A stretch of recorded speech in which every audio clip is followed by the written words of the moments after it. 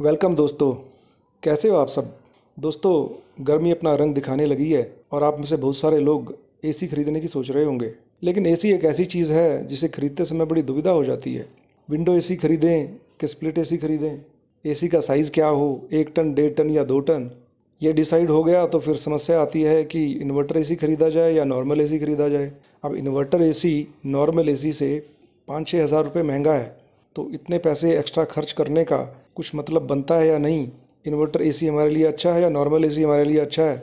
यह डिसाइड करना भी एक बड़ा फैक्टर बन जाता है। ये डिसाइड हो गया तो फिर कौन सी कंपनी का लें? बहुत सारी कंपनियाँ हैं और कंपनी डिसाइड हो गई तो फिर एक एक कंपनी में कितने कितने सारे मॉडल्स हैं? किस मॉडल का एसी खरीदें? ये समस्या आ जाती है। आपकी इन सभी उलझनों का, इन सभी सवालों का जवाब आपको इस वीडियो में मिलने वाला है। आज आपने अगर ये वीडियो पूरा देख लिया तो यकीन मानिए, आप एसी के एक्सपर्ट बन जाएँगे। दोस्तों, हम आपके लिए चुनकर लाए हैं 2021 के बेस्ट एसी मॉडल्स। ऐसा हम क्यों कह रहे हैं? क्योंकि हमने इन एसी मॉडल्स को स्ट्रिक्ट क्राइटेरिया अप्लाई करके चुना है। क्या है वो क्राइटेरिया? आइए जानते हैं। इसमें पहला फैक्टर है फीचर्स का। इस लिस्ट में हमने उन्हीं एसीज को चुना है जिनमें बेस्ट फीचर्स हैं। दूसरा फैक्टर है ड्यूरेबिलिटी का। फीचर्स के साथ साथ ड्यूरेबिलिटी होना भी बहुत ज़रूरी है। जैसे जब आप मोबाइल ख़रीदने जाते हैं तो हो सकता है कि सस्ते चाइनीज़ मोबाइल में वो फीचर्स मिल जाएँ जो आपको सैमसंग और वन प्लस जैसे प्रीमियम फ़ोन में भी ना मिलें। लेकिन आप वो सस्ता चाइनीज़ मोबाइल नहीं खरीदते क्योंकि आपको उसकी ड्यूरेबिलिटी पे भरोसा नहीं होता। दोस्तों, इसमें तीसरा फैक्टर हमने लिया ब्रांड का, यानी कंपनी का। जो कंपनी एसी बना रही है, उसे कितना एक्सपीरियंस है एसी बनाने का? कहीं ऐसा तो वॉशिंग मशीन बनाते बनाते उस कंपनी ने एसी बनाना शुरू कर दिया। तो ऐसे में उस एसी की क्वालिटी आपको क्या मिलेगी? आप खुद ही सोच सकते हैं। फिर आता है पावर कंजम्पशन और नॉइज़ लेवल हम सब चाहते हैं कि हमारा एसी कम से कम बिजली कंज्यूम करे और कम से कम नॉइज़ लेवल हो, ताकि हम उसको अच्छे से चला पाएँ और उसमें अपनी ज़िंदगी का आनंद ले पाएँ।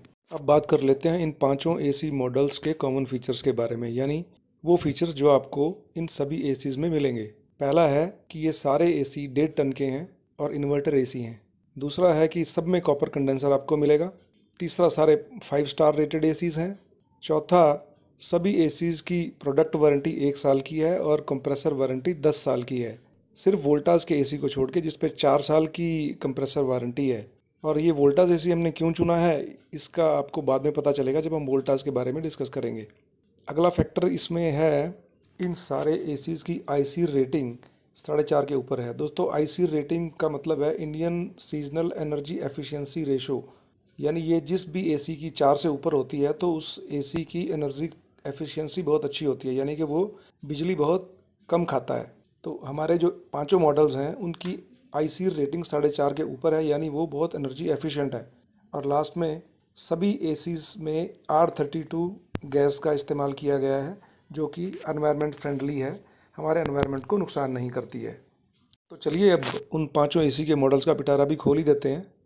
इसमें पाँचवें नंबर पर आता है लॉयड का डेढ़ टन का फाइव स्टार इन्वर्टर एसी इसके कंपनी ने बहुत सारे फीचर्स बताए हैं, जिनमें मेन है कि ये वाईफाई रेडी है, यानी कि एक छोटी सी चिप लगाकर इसको वाईफाई एसी में कन्वर्ट किया जा सकता है। फिर इसमें एंटी वायरल और P M two point five filter आता है स्मार्ट फोर वे स्विंग आता है अब ये तो वैसे सभी ए में आता है। स्टेबलाइज़र फ्री ऑपरेशन है इसका। इसमें यानी कि स्टेबलाइज़र लगाने की ज़रूरत नहीं है। 120 से 240 वोल्ट के बीच में ये एसी बिना स्टेबलाइज़र के काम कर सकता है। और ये बावन डिग्री पर भी कूलिंग कर सकता है। लेकिन इन सभी फैक्टर्स में मुझे जो मेन इंपॉर्टेंट फैक्टर लगा, जो अच्छा लगा, वो है P M two point five filter यानी कि ये एसी कूलिंग के अलावा आपको हवा भी साफ़ करके देगा, यानी कि इसमें एसी के साथ साथ एयर प्योरीफायर भी लगा है।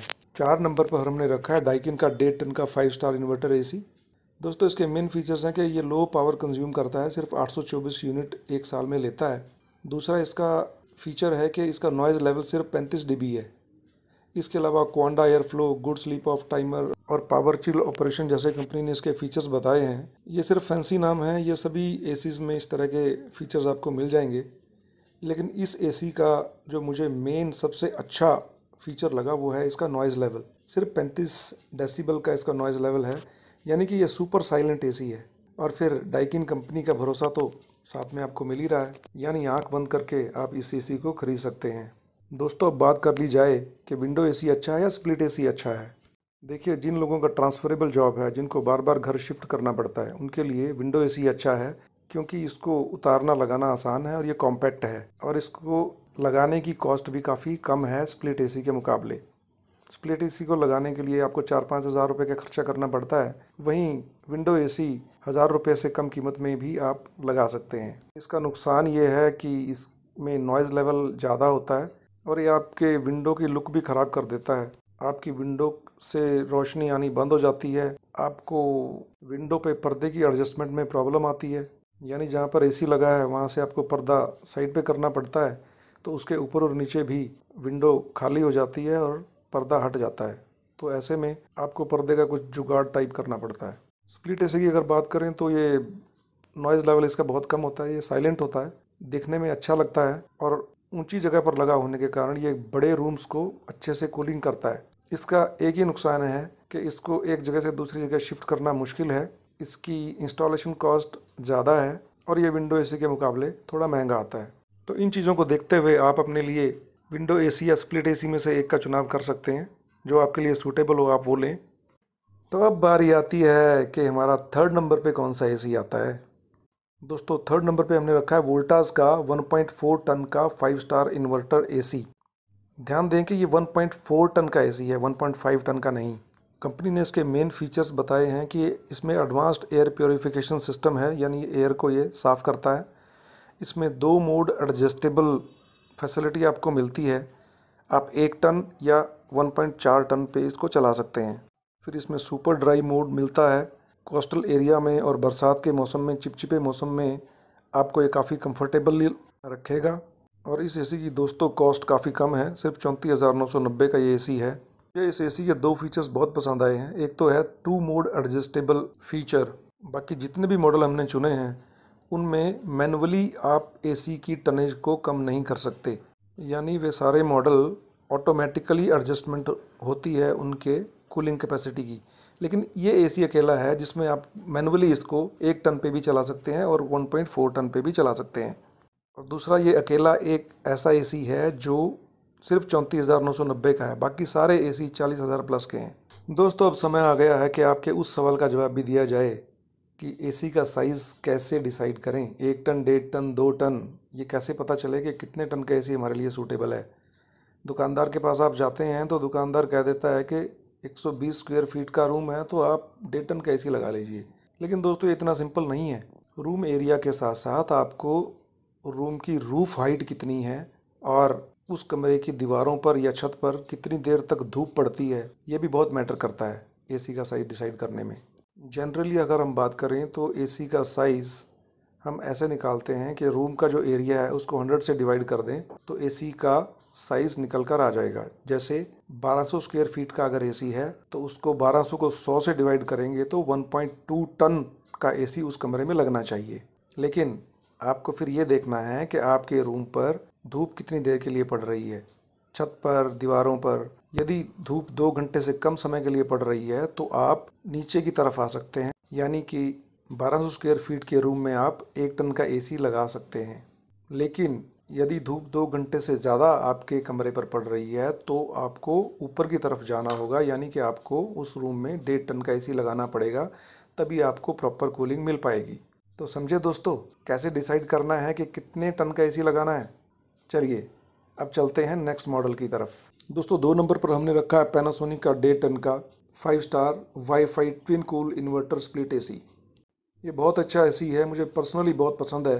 इसमें कंपनी ने स्मार्ट डायग्नोसिस दिया है। वन टच से आप पता कर सकते हैं कि आपके एसी में क्या प्रॉब्लम है। इसके साथ इसमें वॉइस कंट्रोल एलेक्सा और गूगल असिस्टेंट के साथ आपको मिलता है। स्टेबलाइजर फ्री ऑपरेशन भी मिलता है। इस एसी पर आपको एक साल की प्रोडक्ट वारंटी मिलती है और एज़ यूजुअल कंप्रेसर पर दस साल की वारंटी मिलती है। लेकिन इस एसी पर पीसीबी की भी आपको पाँच साल की वारंटी मिलती है। ये एक बहुत बड़ा फैक्टर है। क्योंकि इन्वर्टर एसी में अगर आपका पीसीबी ख़राब हो जाए तो एक पीसीबी पे आपका पाँच छः हज़ार रुपये का खर्चा आ जाता है। यही इन्वर्टर एसी की चुभने वाली बात है, लेकिन इस एसी पर आपको पीसीबी पर भी पाँच साल की वारंटी मिलती है दोस्तों। इसके अलावा इसमें P M two point five filter भी मिलता है, यानी कि ये एसी के साथ साथ आपके एयर प्योरीफायर का काम भी करता है। तो इसके जो मेन फीचर्स मुझे पसंद हैं, एक तो voice control with Alexa and Google assistant दूसरा है कि इसमें वारंटी पीसीबी पर पाँच साल की मिलती है और तीसरा है P M two point five filter. और अब आता है हमारा चैम्पियन नंबर एक पर है एल जी का डेढ़ टन का five star inverter split A C दोस्तों। ये ड्यूअल इन्वर्टर ए सी है, इसकी पावर कंजम्पशन सिर्फ़ 818 यूनिट पर ईयर है। इसमें ऑटो स्विंग आता है, वैसे ये सभी में आता है। इसकी प्रोडक्ट वारंटी एक साल है कंप्रेसर वारंटी दस साल है और पीसीबी पे दोस्तों, इसमें भी पाँच साल की वारंटी आपको मिलती है, जैसे कि पैनासोनिक में आपको मिल रही थी। और दोस्तों, हमारी लिस्ट में ये अकेला एक ऐसा एसी है, जिसमें नॉइज़ लेवल सबसे कम है, सिर्फ़ थर्टी वन डेसीबल तो इसके मेन फीचर्स जो मुझे पसंद हैं, वो हैं, एक तो इसकी पावर कंजम्पशन वो हमारे पाँचों की पाँचों लिस्ट में सबसे कम है 818 यूनिट पर ईयर दूसरा है इसकी वारंटी पीसीबी पे पाँच साल की वारंटी आपको मिलती है, और तीसरा है इसका नॉइज़ लेवल ये सुपर साइलेंट एसी है, सिर्फ़ 31 डेसीबल की नॉइज़ देता है। आप आराम से, मस्ती से अपनी रात गुजारें। साइलेंटली आप अपनी रात गुजारें, आपको मज़ा आ जाएगा। तो दोस्तों, ये थे हमारे पाँच एसी के मॉडल्स, जो 2021 में आपके लिए बेस्ट होने वाले हैं। लेकिन रुकिए, अभी ख़त्म नहीं हुआ। अभी ये तो डिसाइड कर लें कि इन्वर्टर एसी अच्छा है कि नॉन इन्वर्टर एसी अच्छा है। तो दोस्तों इन्वर्टर एसी आप तभी ख़रीदें जब आपको किसी सील्ड रूम में इसको लगाना हो, यानी ऐसा रूम हो जहाँ पर दरवाज़ा बार बार नहीं खुलता हो। और आपके एसी की कंटिन्यूस रनिंग छः घंटे से ज़्यादा हो, तभी आप इन्वर्टर एसी का अच्छे से फ़ायदा उठा पाएँगे। दोस्तों इन्वर्टर एसी आपको बेटर टेम्परेचर कंट्रोल देता है क्योंकि ये रूम की कूलिंग के हिसाब से अपनी स्पीड को कम ज़्यादा करता रहता है, इसलिए आपको बेटर कंफर्ट मिलता है। और इन्वर्टर एसी का पूरा फ़ायदा उठाने के लिए आप एसी का साइज़ थोड़ा सा बड़ा रखें, ताकि एसी के कंप्रेसर को मौका मिले अपने आप को एडजस्ट करने का। यदि आपने छोटा एसी लगा लिया तो उसका कंप्रेसर फुल स्पीड पे ही चलता रहेगा। वो कभी भी स्पीड कम कर ही नहीं पाएगा तो इन्वर्टर एसी का आपको फ़ायदा ही नहीं होगा। क्योंकि ये एसी थोड़ा महँगा है, आप ज़्यादा पैसा खर्च रहे हैं तो इसका फ़ायदा उठाने के लिए ये सब चीज़ों का ध्यान रखना आपको ज़रूरी है। मतलब इन्वर्टर एसी का फ़ायदा तभी उठा सकते हैं जब आप उसके कंप्रेसर को अपनी फुल कैपेसिटी से कम कैपेसिटी पर चलने का मौका दें। और ये मौका आप अपने एसी को दे सकते हैं, अपने रूम को सील्ड करके, अपने एसी को लंबे टाइम तक चलाकर और एसी का साइज़ अपने रूम के हिसाब से थोड़ा सा बड़ा रखकर। अगर ये सभी कंडीशंस आप मीट नहीं करते हैं तो आप नॉन इन्वर्टर एसी लीजिए। यानी कि अगर आपके रूम की डोर ओपनिंग बार बार होती है, दरवाज़ा बार बार खुलता है तो आप नॉन इन्वर्टर एसी लीजिए। जो लोग एसी कम यूज़ करते हैं, एक दो घंटे के लिए चला लिया या कभी तीन घंटे के लिए चला लिया तो उनके लिए भी नॉन इन्वर्टर एसी बेटर है, क्योंकि ये सस्ता आता है। तो आपकी एसी ख़रीदने में भी सेविंग हुई और इन्वर्टर एसी लेंगे तो भी कोई फ़ायदा होने वाला नहीं था। तो इसलिए नॉन इन्वर्टर एसी आपके लिए बेटर है। तो ये था आज का हमारा वीडियो। दोस्तों, जिन प्रोडक्ट्स की हमने बात की, उन सभी के लिंक्स डिस्क्रिप्शन में दिए हैं। अगर आपको इनके बारे में कुछ ज़्यादा जानना है या कोई मॉडल आपको ख़रीदना है तो उन लिंक पर जाकर आप ऐसा कर सकते हैं। इसके अलावा top five non inverter ACs और विंडो एसीज़ के लिंक भी हमने डिस्क्रिप्शन में दिए हैं। यदि आपको ये एसी ख़रीदने हों तो आप उन लिंक्स पर जाकर ऐसा कर सकते हैं। तो दोस्तों, हमारा वीडियो आपको पसंद आया हो तो वीडियो को लाइक करें, शेयर करें और चैनल को सब्सक्राइब ज़रूर करें, ताकि इस तरह के वीडियो हम आपके लिए लाते रहें। थैंक यू, धन्यवाद।